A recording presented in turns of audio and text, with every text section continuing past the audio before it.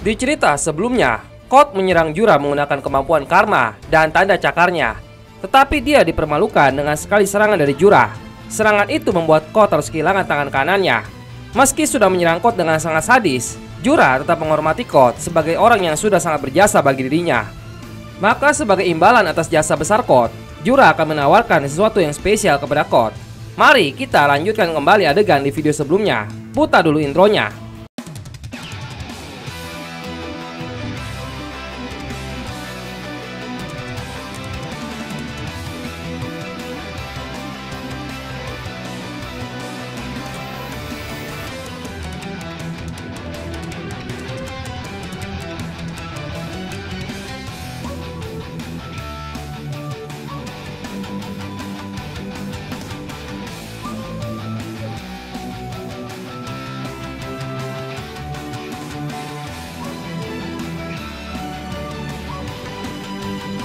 Jura berkata, akan tetapi tampaknya kau sedikit kekurangan stimulasi dalam hidupmu. Karena itulah penyelamat kami. Dengan penuh rasa hormat, kuberikan sebuah tugas padamu.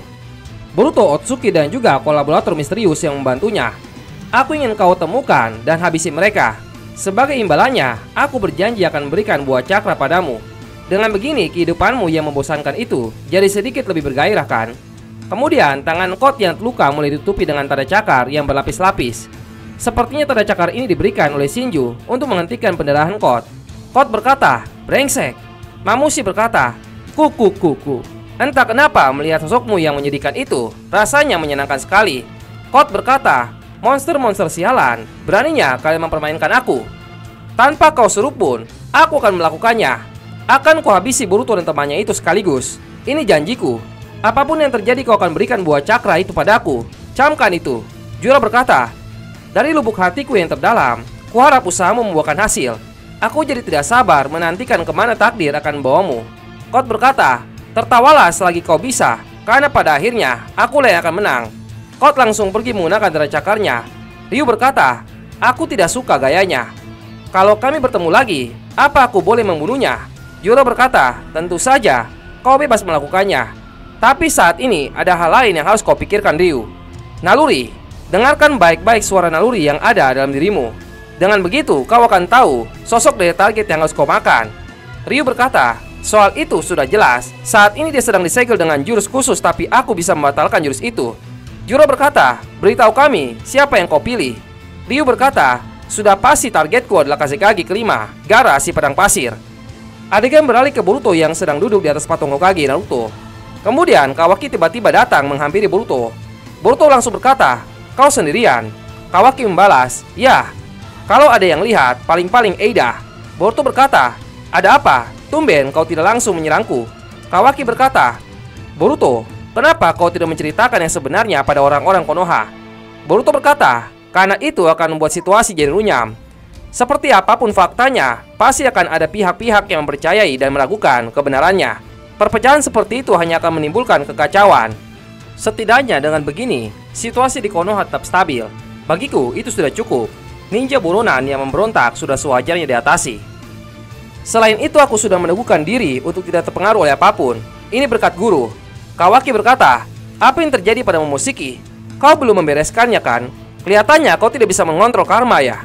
Boruto terdiam sejenak dan dia berkata, sekitar dua tahun yang lalu, setelah aku keluar dari desa, Aku bertarung melawan Kot bersama guru dan menggunakan karma untuk pertama kalinya.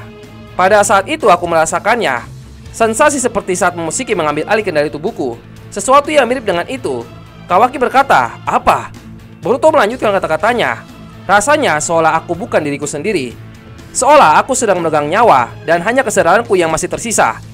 Sejak saat itu, aku tidak pernah lagi menggunakan karma. Kawaki berkata, apa-apaan itu? Kau sudah tahu sebabnya. Boruto berkata, Aku tidak mengerti. Selama tiga tahun ini dia diam saja.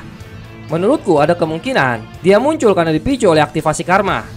Kawaki berkata, sial, berarti kondisinya justru memburuk kan?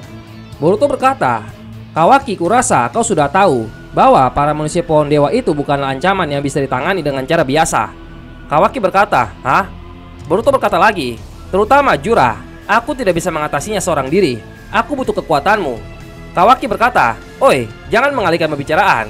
Kita belum selesai membahas musiki. Boruto berkata, saat ini mengatasi para manusia pohon dewa itu adalah prioritas utama. Setelah mereka lenyap, seandainya aku bertindak di luar kendali, saat itu juga bunuhlah aku tanpa ragu. Tidak peduli jalan mana pun yang kau ambil, kau harus jadi lebih kuat. Kau itu murid ayahku kan? Idealnya sih, kau bebaskan ayah dari segelnya, lalu kau minta dia untuk melatihmu. Sayangnya sekarang, itu bukan opsi yang realistis. Terlalu memakan waktu, Kawaki, yang akan aku bicarakan mulai sekarang adalah kesimpulan yang cepat atau lambat kau akan dapatkan dengan kekuatanmu sendiri. Berhubung hasilnya sama saja, kurasa lebih cepat lebih baik. Jadi biar ku beritahu padamu. Kawaki berkata, Oi, tunggu, kau bicara soal apa? Boruto berkata, tanyakan pada Amado. Dia menyembunyikan kekuatanmu yang sesungguhnya. Kawaki berkata, apa? Boruto berkata, dia melakukan penyesuaian pada kemampuan seranganmu dengan memasang limiter untuk meningkatkan kemampuan pertahanan dan regenerasimu hingga melampaui batas. Kawaki berkata, apa? Kakek sialan itu karena dia tidak mau aku mati ya? Amado ternyata melihat melalui kamera yang dia selipkan di mata Kawaki. Amado berkata, Cih, Boruto dari mana dia dapat informasi itu? Amado mengingat kembali katak yang dilihat oleh Kawaki sebelumnya. Amado berkata, anak buah katak. Waktu itu jangan-jangan memang asli. Tidak, itu belum tentu. Sulit dibayangkan Koji masih hidup. Kalaupun dia masih hidup, memangnya apa yang bisa dilakukan sekarang? Terlebih lagi, apa tujuannya? Adegan kembali ke Boruto yang berkata, Amado memerlukan karmamu demi tujuannya sendiri. Dia mengotak-atik kemampuanmu supaya kau bisa tetap hidup apa pun yang terjadi. Yang dia asumsikan mungkin adalah serangan Kot. Dari kata-kata Boruto ini, Atmi mulai mengerti. Jadi tujuan Amado membuat limiter di tubuh Kawaki adalah agar Kawaki bisa bertahan dari serangan Kot yang sudah membuka limiternya. Dengan memasang limiter pada Kawaki, maka daya serangan Kawaki melemah, tapi kemampuan pertahanan dan juga kemampuan regenerasinya meningkat sampai melampaui batasannya. Inilah kenapa di chapter ke-9, Delta berkata, Kawaki itu memiliki hidup yang abadi. Ternyata alasannya bukan karena dia punya kemampuan regenerasi yang biasa digunakan, tapi itu karena kemampuan regenerasinya sudah ditingkatkan sampai melampaui batasannya. Lalu Boruto melanjutkan kata-katanya kembali. Kalau kau pikir aku bohong, lebih baik tanyakan saja pada Amado.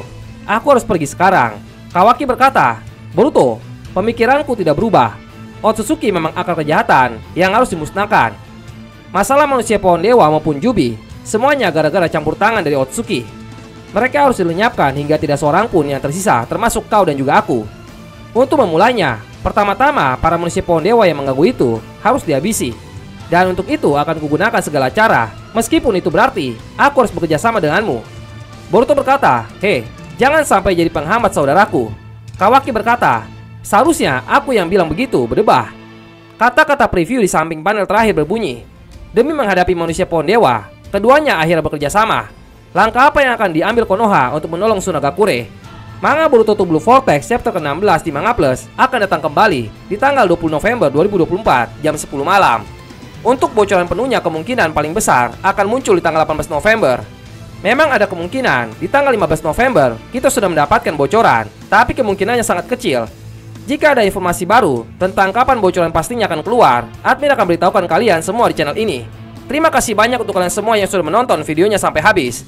Jangan lupa dukung terus Manga Boruto Blue Vortex dengan membaca manganya melalui website atau aplikasi Manga Plus. Sampai jumpa lagi di video selanjutnya.